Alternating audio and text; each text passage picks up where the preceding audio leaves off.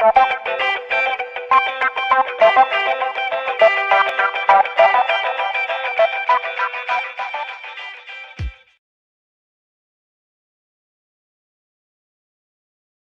was looking at my statistics the other day and I realised only 1.2% of people are subscribed to me. So please, if you're not subscribed, please subscribe and like the video. It helps me out a lot and it means a lot to me. Thank you very much and please enjoy the video. Hello YouTube, Kipper4472 here and today we are here with Sodor Biographies Episode 1, Thomas. So please, enjoy. In 1914, Thomas was built at Brighton Works in England, where he was the station shunter at Brighton, and he mostly stayed out of view. In 1915, during the war effort, he found himself located to Sodor and was helping building the new main line on the North Western Railway. He arrived in his LBSC London, Brighton and South Coast Railway livery. He arrived alongside another engine brought in from the Furness Railway called Edward, once the new main line was completed, he stayed at Vickerstown to be the station pilot. In 1920, Thomas was brought by the Fat Director, who ran the North Western Railway, and he was painted in NWR blue and given the number one as he was the railway's first engine. Thomas found it fun to annoy a big express engine called Gordon, and in revenge, Gordon pulled Thomas along behind his express one, run one day. In 1924, Thomas found being a station pilot boring and he longed to see the world. He struck a deal with Edward that Thomas could take Edward's goods train to Wellsworth and Edward was shunt in the yard for the day.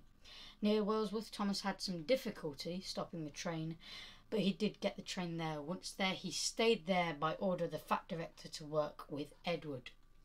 Thomas's relocation didn't come out of nowhere, however. The Northwestern and the LMS struck a deal and the Northwestern was allowed to run services to Barrow-in-Furness, and the LMS could run their services to the harbour at Normandy.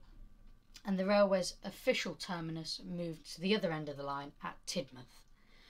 A while later, in 1925, the railway had five engines at this point and a few on loan, and the railway's fifth engine, James, rushed through Wellsworth with a goods train and then crashed on a bend not long later. Thomas reacted quickly with the breakdown train and quickly in James's smooth recovery.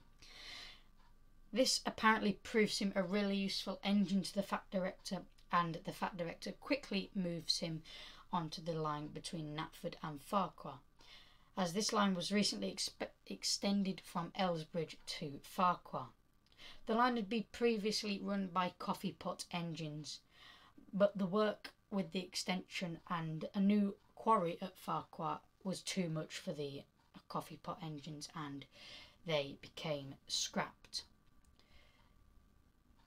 Nothing happens after that much for the next few years, but in 1947 it snowed on Sodor, and Thomas, not wanting to wear his snowplough as he said it was uncomfortable, he purposely damaged it and then got stuck in a snowdrift for not wearing it. He had to get pulled out by a tractor with caterpillar tracks called Terence.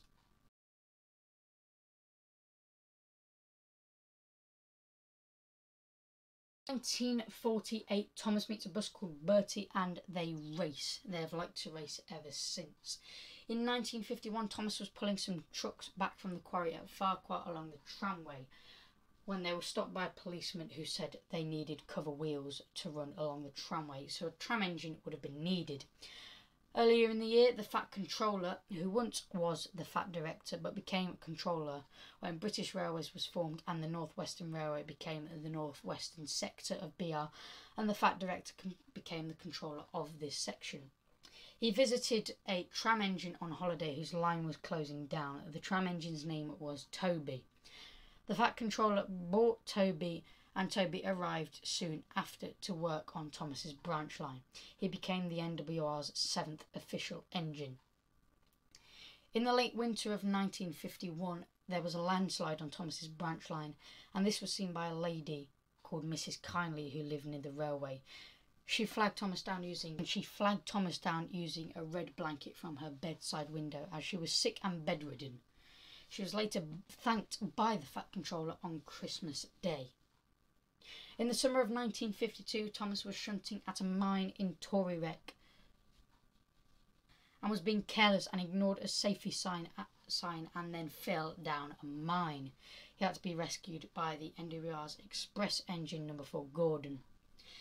In 1953, the newly crowned Queen Elizabeth II makes a tour of Britain's railways, and Thomas got the pride job of shunting the coaches the Queen would visit in. In 1955, the old harbour reopened on Thomas's branch line, and Percy, the NWR's sixth engine and the pilot of Tidmouth, is relocated there with help to help with its reconstruction. After Percy provides to be a useful source at the harbour, he is permanently relocated there to work on Thomas's branch line. The junction for the station to Thomas's branch line at Knapford is moved as the old line for the harbour is now using it. In 1956, the books published for the about the Northwestern Railway called the Railway Series is very successful, and the Fat Controller learns of this and takes his eight famous engines to Euston Station for gala. In 1960, Thompson House starts moving without a driver in the morning and he crashes into a station master's house. Being repaired, the Fat Controller brings on a new diesel rail car called Daisy to, in to do Thomas's work. After Thomas comes back, the Fat Controller keeps Daisy on and she becomes the first diesel on the railway. When Thomas came back, he had an updated shape with a now flat running board. In 1964, the Farquhar Quarry buys its own diesel to do the shunting there. The diesel is called Mavis. Not, not long after, Percy crashes into a lime cart and gets covered in it. He then uses his bright white appearance to scare Thomas, pretending to be a ghost. In 1979, Gordon goes for repairs at Crovan's Gate, and Thomas, along with Duck and Percy, have to triple head the express. In 1988, the Elsbridge needs renovation and the Fat Controller makes a weight limit to cross the bridge. Thomas is too heavy to cross the bridge and goes to work on Edward's branch line where he meets Bill and Ben, the China clay pit engines, for the first time. The next year, Thomas returns to his branch line. In 1990, Thomas is invited to an event in York at the National Railway Museum. He leaves under his own power and meets a few other famous engines there. In 1991, Thomas returns to his branch line. In 2007, Thomas finds an old coach in the bushes at Elsbridge. She is restored and pulled with to- by Toby with Henrietta. In 2011, Thomas attends a ceremony at Tidmouth where a statue is unveiled of Wilbert Awdry, the author of the Railway series. And that brings us to present day. So I really hope you guys enjoyed that, the first episode. And if you want to see some more um, Railway Series Thomas Tank Engine stuff, um, there are some things on the screen right now. And I really hope you enjoyed that. Please like and subscribe. It means a lot to me. And thanks for watching. See you in the next autobiography or video, hopefully. Goodbye.